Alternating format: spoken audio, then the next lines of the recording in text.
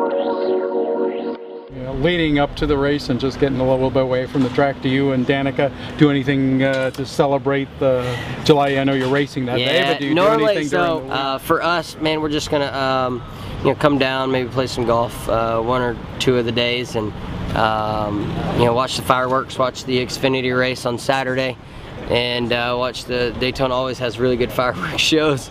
Um, so other than that, we won't do much. so she's a bit of a, foodie, right? Oh, so, yeah, she'll cook. So she'll do the cooking. Oh yeah, she loves cooking, um, which it really benefits me because I don't I don't like to I like to be out in the garage or out on my property, um, you know, working around and uh, you know she'll let me know when dinner's ready and uh, she loves it. Uh, she she loves to cook and she's really good at it. What's her favorite meal that she? Man, she likes. I mean, really, she likes to. You know, she's won that uh, celebrity chopped show, and she really likes getting home and opening up the refrigerator, not knowing what's in there, and throwing things together, and uh, and it turns out really well. So uh, she likes to look, cook a lot of fish, steak, and uh, we eat a lot of chicken. But um, you know, she's uh, she definitely likes things to be uh, colorful, green. She likes to, to make it healthy.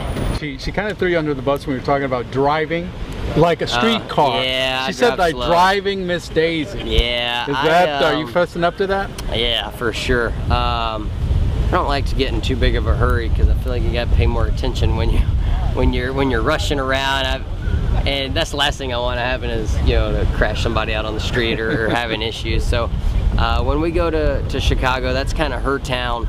Uh, I'll let her drive because I don't really know where we're going in Chicago.